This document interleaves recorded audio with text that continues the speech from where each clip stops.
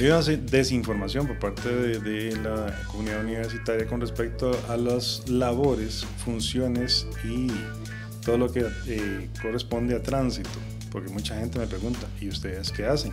Para responder a esta pregunta, el supervisor de tránsito, Juan Carlos Corella, resaltó algunas de las funciones principales de la unidad y recordó la importancia de que sean conocidas. La comunidad universitaria debe saber que tienen a la mano una herramienta muy importante como son, los oficiales de tránsito universitarios, que pueden dar al traste con problemas como de seguridad, de robos, de hurtos, accidentes de tránsito, consultas de tránsito, Incluso nosotros eh, damos colaboración si se estalla una persona, eh, si, se, si se le va la batería. Además de estas tareas, la sección de tránsito complementa parte de su trabajo con la sección de seguridad.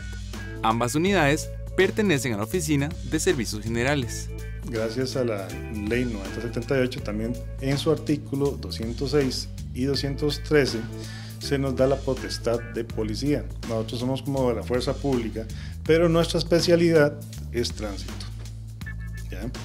En caso de que haya un asalto, en caso de que haya un hurto, en caso de que hayan varias situaciones que tengan que ver con un eh, desempeño policial, nosotros podemos hacerlos y debemos hacerlo. Aunque la mayor responsabilidad de la oficina es regular el tránsito dentro de la universidad y en su periferia, sus 13 funcionarios también se encargan de sensibilizar a la población acerca de la educación vial.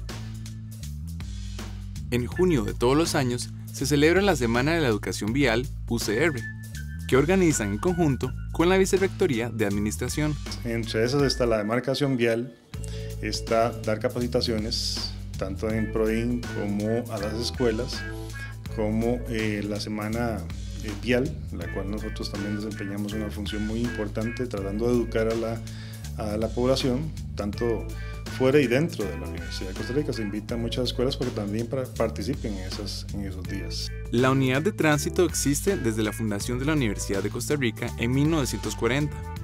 En la actualidad, se rige bajo la Ley de Tránsito 9078, aprobada en 2012, pero con la autonomía correspondiente para actuar dentro del campus.